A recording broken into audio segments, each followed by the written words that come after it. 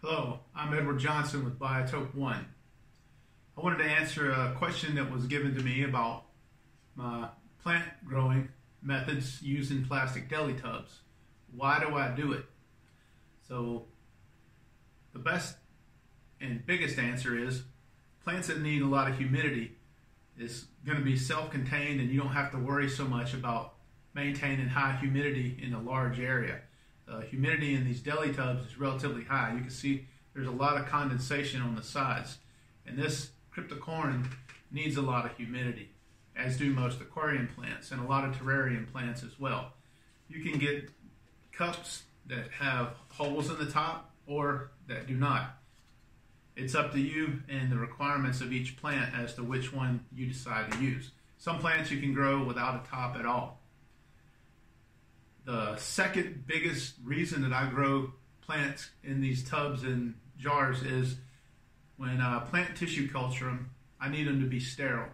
Oftentimes when I get these plants, they've came from submerged conditions. There's a ton of bacteria in them and it's very difficult to sterilize them properly without killing them because of using too much bleach or whatever it is that I might be using to sterilize it. Once you put them in tissue culture, it has to be sterile, absolutely sterile, or you get a lot of fungus and bacterial growth and it kills your explant and your time that you spent is wasted because you have a contaminated vessel. You can see there's a lot of bacteria contamination in this. This one was contaminated and I sat it aside until I get enough to clean them because you don't want to just open these up and dump them because of all the spores. You want to do it with bleach and make sure that you don't breathe the stuff in. Growing new growth in these, there's very little contaminants that can get in from the outside. And the new growth that does occur has relatively low amounts of bacteria and fungus on it and is much more likely that you get a clean explant and a successful tissue culture.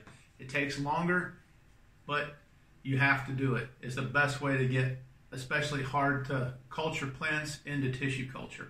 Stem plants grow relatively quickly, so in a matter of a few weeks, you can culture a tub of them you can even plant these out. Uh, you don't have to do this just a tissue culture them. You can actually split this up into other uh, cups and propagate plants yourself. If you don't have a lot of space and you really like a particular plant, this is a great way to uh, grow more of them and you can trade them among your friends or whatever.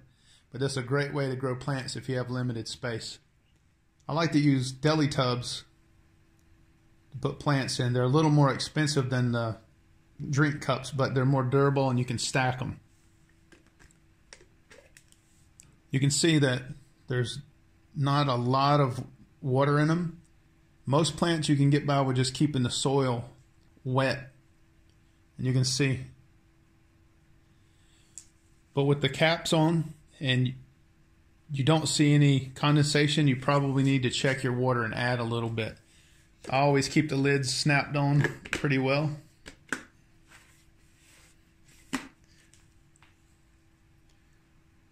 this cryptocoryne is doing doing pretty well. It's getting new growth going, and before long there'll be more plants in there. If you have any questions about how to tissue culture or how or why I do things that you see, you can email me or PM me on Facebook, and I'll answer them to the best of my ability. Thank you.